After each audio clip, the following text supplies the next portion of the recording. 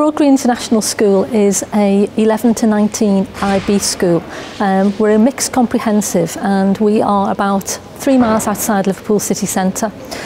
We're a diverse school. We have 42 different nationalities um, and we're a resource school for the physically disabled, um, profoundly deaf and um, we also have a range of pupils with uh, SEM.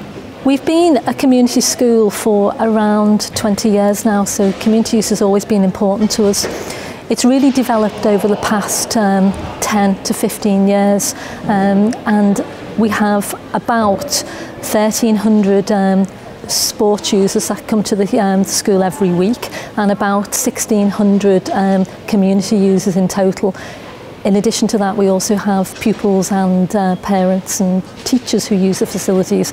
So it's increasingly uh, becoming the hub of the community and is a real sort of base for the community to come to for lots of things, not just sport, but increasingly for sport. So we found over the years um, that people want to come and use our facilities and we are open to the, to the uh, community seven days a week um, until 10pm. I've looked at developing a vision for Broad Green where from age 2 to 85, which is that our current profile of our community users, that uh, people are welcome to come and use our facilities. And really, it's asking what the community want, what do they want to see um, for community use and what we can offer them. So not just assuming um, this is what they want. So using the data that's out there, using organisations that are, and national government bodies that are there to help us.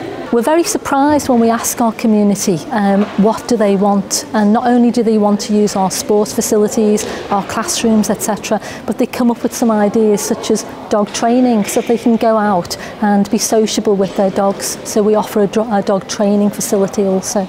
As a PFI school, um, we have a contract and an, uh, an output specification. So often the PFI provider will say that we can't do something. So the barriers um, are there to be broken down really and to find opportunities and ways of getting around the barriers. Um, sometimes you have to be contractual and you have to find ways around and sometimes it's just a little bit of give and take. I've recently been asked to chair the School Business Managers Forum for the Access to Schools And I think this is a great opportunity where schools can come together and share good practice. There's a lot of good practice out there and there's a lot of opportunities for schools to open their doors for the community. We just need to work together so we can do that properly.